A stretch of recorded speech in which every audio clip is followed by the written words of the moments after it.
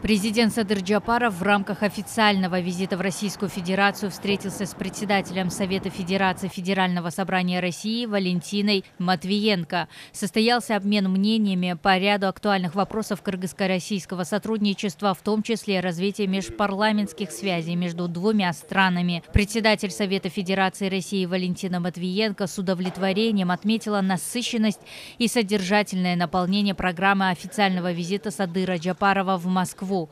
Вместе с тем председатель Совета Федерации России выразила искреннюю признательность президенту Кыргызстана за участие в мероприятиях, посвященных 78-летию победы в Великой Отечественной войне, что подчеркивает особый дух отношений между народами России и Кыргызстана и единство государств в сохранении памяти о героических подвигах предков. Валентина Матвиенко подчеркнула, что российско-кыргызская дружба, прошедшая испытания войны, является надежным фундаментом для укрепления многопланового сотрудничества. Президент Садыр Джапаров, в свою очередь, отметил, что Российская Федерация является одним из главных партнеров Кыргызской Республики. Президент высоко оценил роль парламентской дипломатии как важного внешнеполитического ресурса в поддержании и укреплении двусторонних межгосударственных отношений.